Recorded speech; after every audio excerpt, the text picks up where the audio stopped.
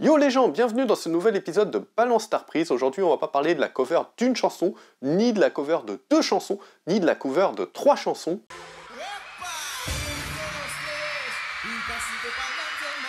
Oh là, mon Ricky, on se calme. Va te niaquer un petit tacos, ça ira beaucoup mieux. Non, les amis, aujourd'hui, on va se parler d'un album entier qui a été repris. Mais avant, il va falloir que je vous contextualise un petit peu le truc.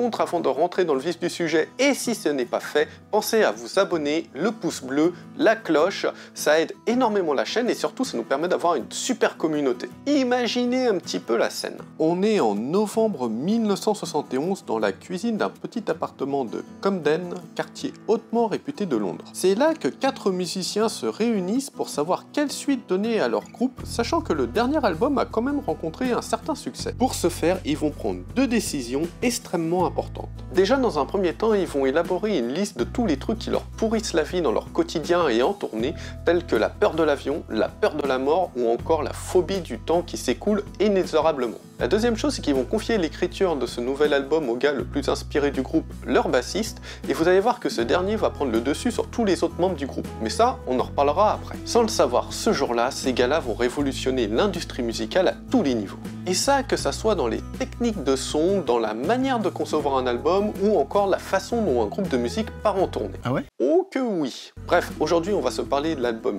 cultissime The Dark Side of the Moon des Pink Floyd, et de la reprise de l'album du même nom par le bassiste du groupe euh, du même nom.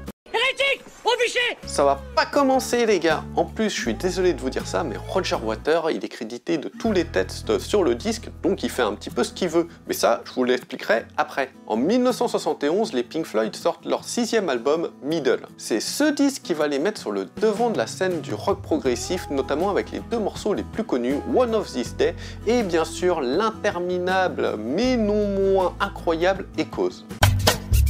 Thank you.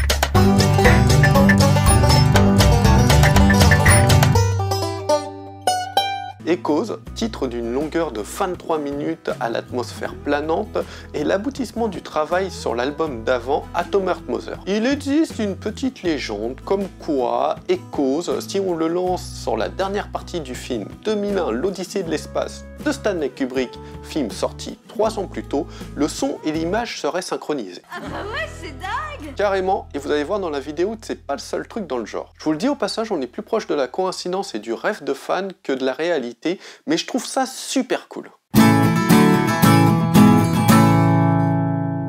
C'est donc durant la tournée de l'album Middle, lassé de jouer les mêmes morceaux en boucle, que les membres du groupe réfléchissent à un nouvel album. Très vite, cela nous conduira à la scène du début de cette vidéo, à nous retrouver dans l'appartement de Nick Mason, batteur des Pink Floyd. Merde, j'espère que vous avez une chute à tout ça parce que l'intro est comaque. Enfin, tout ça pour vous dire, euh, c'est part générique. Maintenant que Roger Water est à l'écriture, il veut concevoir un concept fort, une sorte de tragédie musicale en trois actes. Être ou ne pas être. Yep, carrément un truc dans le genre. Le truc de ouf avec The Dark Side of the Moon, c'est que les thèmes abordés tout au long du disque sont des thèmes intemporels qui le rendent audible à n'importe quelle époque, même 50 ans après. L'enfance, l'argent, la religion, le système politique, l'homme face au temps qui passe et à la mort, mais ces thèmes-là, c'est surtout les obsessions et les peurs de Waters, de la perte de la figure paternelle à la déchéance de Sid Barrett, première tête pensante et chanteur du groupe, tout y passe. Les quatre membres des Pink Floyd veulent donner une cohérence au tout. Ainsi, les morceaux s'enchaînent entre eux, donnant l'impression qu'il n'y a qu'une seule piste sur la galette. Alors le concept album, on le doit pas forcément au Pink Floyd, il y a déjà des groupes qui l'ont fait, notamment les Who ou les Pretty Things. Une fois que Water a fédéré ses trois autres acolytes, l'écriture peut commencer en se servant de morceaux préexistants.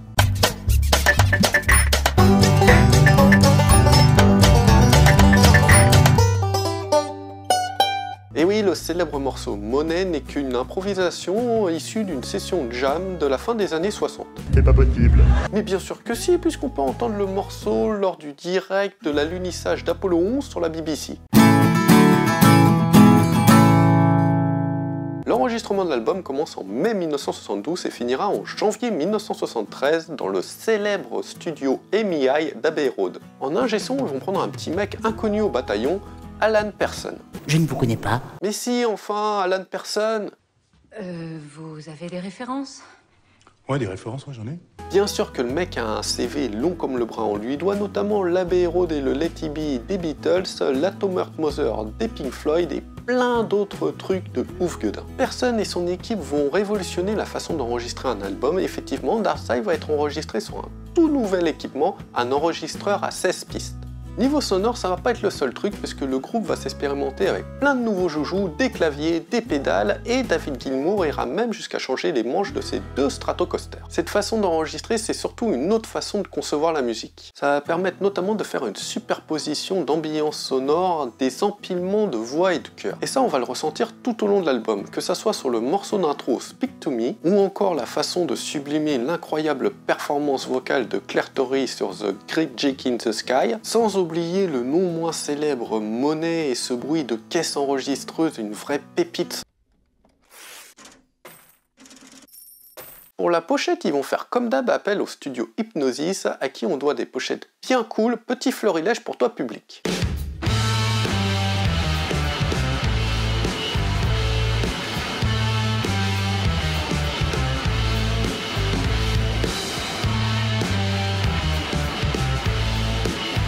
Veulent quelque chose de simple, un peu dans cet esprit-là. La vie, c'est comme une boîte de chocolat. Bah on n'est pas très loin de la vérité, je les cite, hein. on voulait quelque chose de simple comme une boîte de chocolat. Le concept même de l'artwork a révolutionné l'industrie musicale, cherchez pas le nom du groupe, il n'apparaît nulle part. C'est un rayon de lumière qui vient frapper un prisme et ainsi décomposer la lumière sous ses différents spectres. Nom de Zeus. Ouais ouais, c'est surtout une représentation des light shows utilisés par le groupe lors des concerts. Et en parlant de révolution sonore, ça se passe aussi sur scène grâce à une table de mixage à 28 canaux et un système quadriphonie qui va leur donner un son incomparable en live et surtout leur permettre de pouvoir enregistrer des boucles jouées lors des concerts.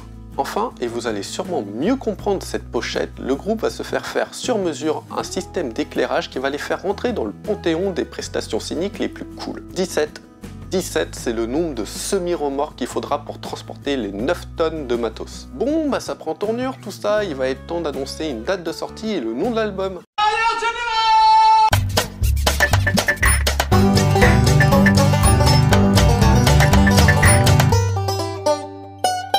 Ah oui, en effet, le groupe Metinhead sort son nouvel album The Dark Side of the Moon. Hop là, c'est la caca, c'est la cata, c'est la catastrophe. En urgence, les Floyd vont rebaptiser leur album Eclipse, mais ça plaît pas à tout le monde et encore moins à David Gilmour. Et comme quoi, le malheur des uns fait le bonheur des autres, suite à l'échec commercial de l'album de Metinhead, les Pink Floyd, qui ne voient pas une concurrence déloyale, décident de baptiser leur album The Dark Side of the Moon. Le truc qui est dingue, c'est qu'à la même époque, on pouvait trouver dans les bacs deux albums The Dark Side of the Moon, un de Metinhead et un des Pink Floyd.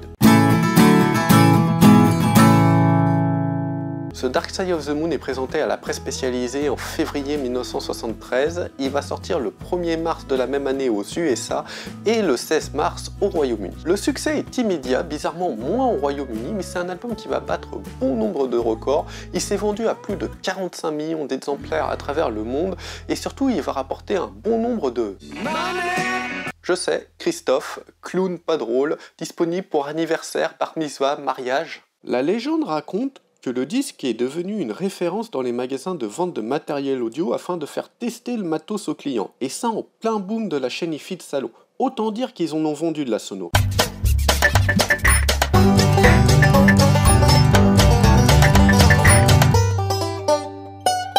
Ah, je vous avais dit qu'on allait parler d'un truc chelou avec un film. Depuis 1994, il existe une rumeur un peu folle sur cet album. Amis de la théorie du complot, bonjour. Connu sous le nom de Dark Side of the Rainbow ou Dark Side of the Rose, cette légende urbaine nous dit que en fait l'album aurait été écrit et composé comme une BO alternative au film de 1939 Le Magicien d'Oz. Le film et l'album auraient une certaine synchronicité à tel point que quand on lance des pistes à des moments clés du film, le tout se lit de façon assez troublante. Mmh, vive le complot reptilien quand même, hein Yep les gars, ça restera une légende parce que les membres du groupe ont toujours démenti. Alan Person dira même qu'il n'a jamais entendu parler du magicien d'Oz pendant toute la durée de l'enregistrement. Enfin, Richard Roper, un célèbre critique de cinéma, dira même que si le groupe avait réussi à composer une telle œuvre, les limites technologiques de l'époque les auraient empêchés d'aller au bout.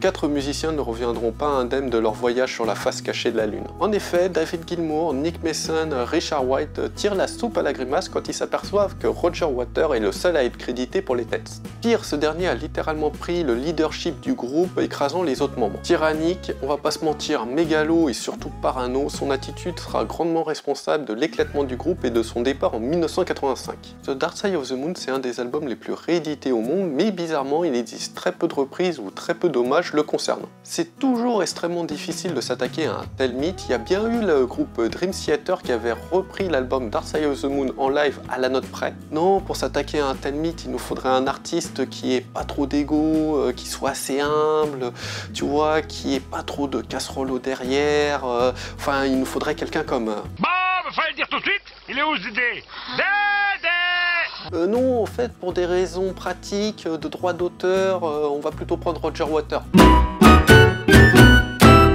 Alors qu'il bosse sur son album solo, The Lockdown Session, Water se dit que ça serait bien qu'il réenregistre The Dark of the Moon pour l'anniversaire des 50 ans. Anniversaire qui, soit dit en passant, héritera d'une énième réédition de l'album, parce qu'il faut pas prendre les fans des Pink Floyd pour des pigeons, mais faut pas l'oublier, ils le sont quand même. À sa sortie, le 6 octobre 2023, la critique est partagée parce que là, on a vraiment le droit à une refonte totale de l'album pour coller à son époque. Water dira ceci. Nous étions si jeunes quand nous avons enregistré l'original, quand on regarde le monde qui nous entoure aujourd'hui, il est clair que le message n'est pas resté. C'est pour ça que j'ai pensé à la sagesse qu'un homme de 80 ans pourrait apporter à une version réinventée. Bah oui, pour Water, il est inconcevable de remplacer l'original. C'est deux visions à deux époques différentes. Et rappelez-vous ce que je vous ai dit au début, les thèmes abordés dans The Dark Side of the Moon sont des thèmes intemporels. Que l'on adhère ou pas au projet, c'est une vision complémentaire de l'œuvre originale. Parce que Water, par exemple, il va pas s'interroger de la même façon sur la mort qu'il y a 50 ans. Perso, j'ai beaucoup de mal avec cette relecture, mais je pense que c'est une question d'âge. Je me sens beaucoup plus proche de l'œuvre originale et je ne doute pas qu'un jour j'aurai la maturité nécessaire à me relancer dans cet album. En plus, Roger Waters c'est un personnage qui est assez difficile à cerner entre son caractère mégalomane et paranoïaque et ses différentes prises de position souvent jugées antisémites. Je vous passe un petit peu tous les délires conspirationnistes qu'a le gars, par exemple sur le conflit en Ukraine ou l'invasion de Taïwan par la Chine, qui sont souvent déformés aussi, ce qui va émailler un peu plus son image. Pour conclure sur une note un peu plus positive, il faut dire que Roger Waters a toujours nié être antisémite et le gars participe à un nombre incroyable de collectes de fonds et d'œuvres caritatives. Le second truc, c'est que aucun des membres des Pink Floyd ayant participé à cette refonte de The Dark Side of the Moon, Nick Mason dira quand même ceci absolument génial. Ce n'est pas du tout quelque chose qui viendrait gâcher l'original, c'est un complément intéressant à la chose. Et voilà mes petits potes, c'est fini pour ce monument du rock et sa reprise tout aussi incroyable. J'espère que ce nouvel épisode vous a plu, en tout cas n'hésitez pas, pouce bleu, cloche et à vous abonner si c'est pas déjà fait. Dans la prochaine vidéo on passera en mode geekos, vous allez voir ça va être vraiment cool, restez bien connectés, ça va être trop sympa. En attendant la prochaine vidéo, allez vous écouter de la bonne musique et pourquoi pas The Dark Side of the Moon. Moi en tout cas, en attendant, je vous dis à la prochaine et tchuss